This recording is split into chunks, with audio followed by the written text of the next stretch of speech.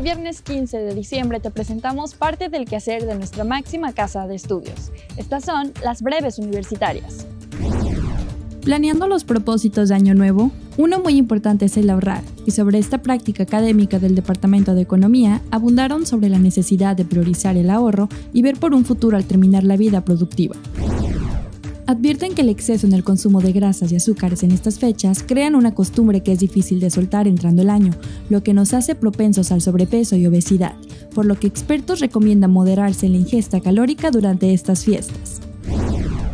La actividad física no debe detenerse en esta época decembrina. Lo ideal es mantenerla aunque sea en menor medida y reactivarse en enero. Para los que lo tienen como propósito de año nuevo, Mario Horta del Departamento de Ciencias del Deporte y la Actividad Física recomendó iniciar de una forma moderada.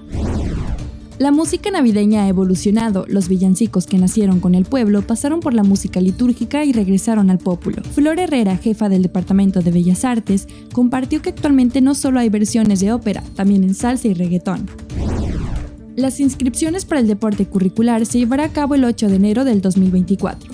Será a través del portal de alumnos y recuerden que cada semestre deben reinscribirse.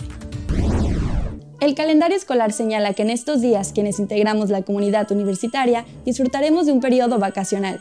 Nos merecemos un descanso y disfrutar de estas fechas decembrinas rodeados de nuestros familiares y amigos.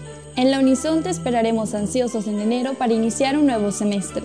Las breves universitarias se tomarán un descanso para juntos regresar con pilas recargadas en el 2024. Despedimos esta última edición del año con estas bellas imágenes del edificio principal de Rectoría, vestido con luces y colores de Navidad. ¡Felices fiestas!